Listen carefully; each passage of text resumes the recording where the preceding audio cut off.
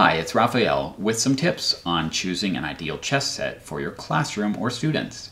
The choices can be quite overwhelming, so here is guidance that will help you more easily identify exactly what you need and how to get started. The go-to chess set that any classroom or individual student that owns a chess set needs is this Quality Club Special. There are of course many different variations and options, but I'm going to show you how to decide on a suitable chess set for your classroom. The regulation size and standard here is this 20 inch square board with 3 and 3 quarter inch tall pieces.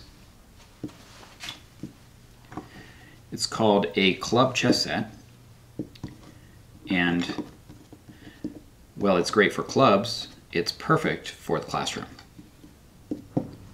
has these extra queens and good solid plastic, specially felted pieces. Easy to get replacements if any are ever lost. And uh, yeah, this is the ideal club chess set. Now we'll look at a few variations on this, but if you're looking for a place to get started, whether you need a single set or whether you need bulk sets, this is what to be looking for. If you have a table surface that doesn't accommodate a 20 inch square. Then I recommend going with a 17 inch square board. Take a look at that.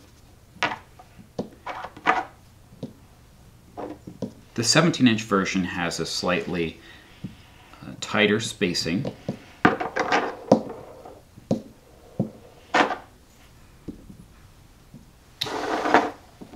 It can also be easier for kindergartners, first graders to reach the pieces, but the main reason that it is useful in the classroom is that some desk surfaces are not quite large enough for the normal 20 inch board. Now these can be stored as flat vinyl boards or they can be rolled up. For individual use, they should be rolled up and uh, I recommend a bag like this for all these pieces.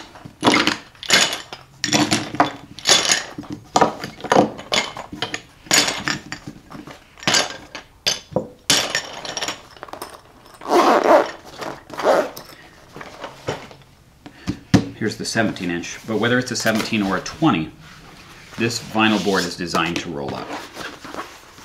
Would roll it outwards to keep it flat when it's unrolled later. And a bag of this sort is the uh, best way to keep these together. So for personal use, a student can carry this bag like this and take it to school, from school, at home, use it anywhere, uh, bring it in the car, and that's convenient. It keeps it all together. Now if you use the 17 inch board, same story there. There are other options which we can look at but I want you to know what is typical for a classroom. Now, you may also see chess pieces that look like this.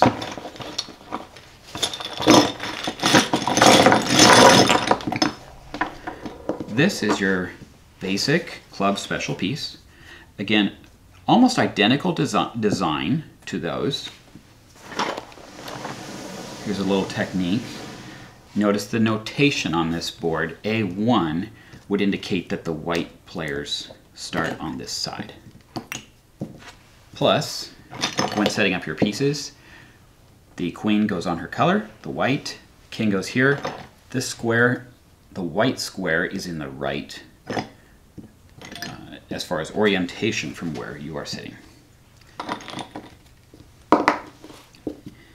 Now these pieces are a bit different than the other one. They are not quite solid, but they're close to it. They also do have special felt.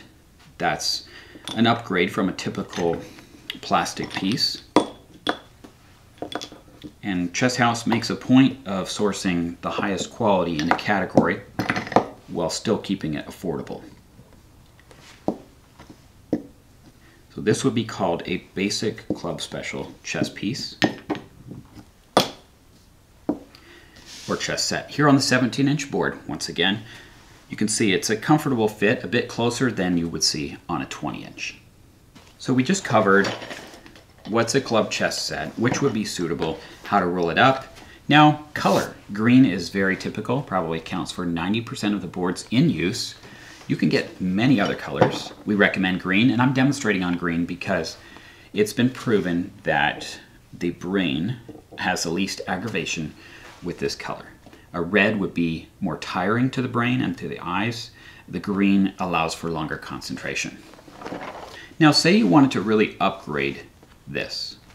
What I've shown you so far is the essentials and what we recommend. There are other options, and I'll cover these more in a different video.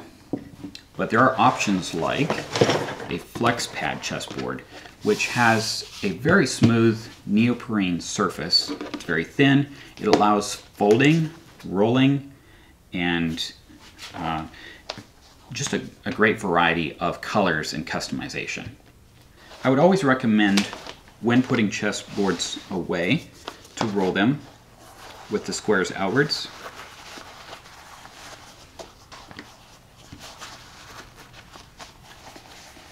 like this. Or in the case of this specialized flex pad board, you could also fold it. That does allow for some more storage options.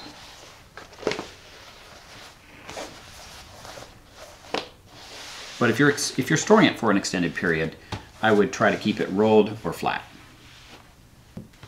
Also, in a different video, we'll cover learning materials, where to start. For example, a workbook and video series like Elliott's Chess School by Chess for Life is a great place to start.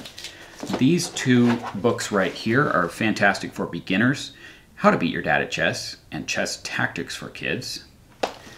And another very popular place to start for the classroom or for home use would be these three titles by John Bain. Chess Rules for Students, Chess uh, Checkmate Ideas for Students, and tactics for students.